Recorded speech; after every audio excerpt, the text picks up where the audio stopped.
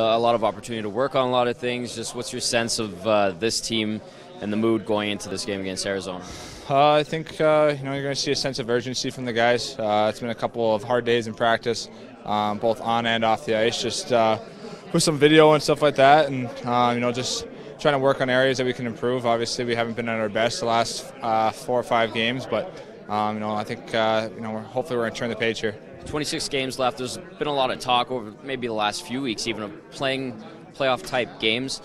Did we kind of see a playoff type game and team in Chicago the other day? And can you learn some lessons from the way they kind of dug in and, and scored scrappy goals and all that?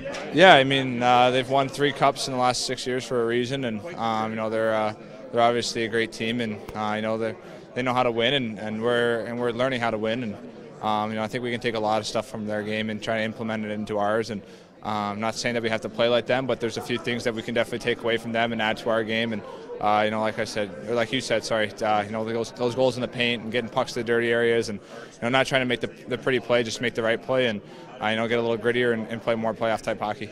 Has that uh, sense of the playoffs looming and the season's coming to a close, is that starting to find itself into the the room and I don't know if it's pressure that you start to feel, but do you start to get that sense that hey, it's almost spring, it's almost that time of year, we're in the mix. Are you guys starting to kind of get that sense and taste? Yeah, I think uh, you know guys are starting to talk about it a lot more. Coaching staff is starting to talk about it, and uh, you know as you can see, the standings are are, are real close, and um, you know with uh, 26 games left, it's it's going to be even tighter, and I uh, know we just got to make sure we play playoff hockey the rest of the way through, and and and that's the way it's going to be. Every every team is going to be playing that way, and it doesn't matter if they're first or last. It's going to be that type of hockey, and I uh, know we just got to make sure we bring that every game. Having said that, what do you expect from this Arizona team that you know kind of had their way with the with the Flames last night? Yeah, they've they've been hot lately. They've won a lot of games, and uh, you know they're beating some pretty good teams, and uh, you know there's no there's no easy games in this league. It doesn't matter where you are in the standings. Um, just got to make sure you bring your game every time. And uh, you know, any any team can beat any team on any given night. You just got to make sure you prepare yourself as best you can, and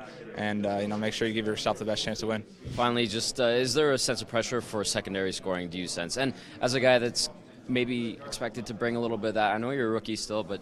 Uh, is that talked about too, and is that kind of on the minds of guys? Yeah, I think uh, you know we can't rely on one line or one guy to you know kind of carry the load. It's got to be a you know top to bottom thing, and, and maybe not necessarily always scoring goals, but you know, from top to bottom, the lineup's got to be producing at, at some sort of level, whatever it may be, whether it's, you know, doing well in the, uh, you know, special teams or, or just chipping in whenever they can, five on five. And doesn't have to necessarily be points, but, you know, a big shot block or a big hit or momentum, right? So, uh, you know, everyone's got to chip in, but, uh, you know, that secondary scoring is definitely something we need. And uh, heading into a playoff, uh, especially the playoff run, you're going to need that secondary scoring to be a good team.